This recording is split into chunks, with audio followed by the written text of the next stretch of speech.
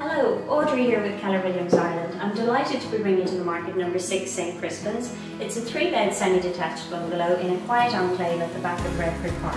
Come and have a look.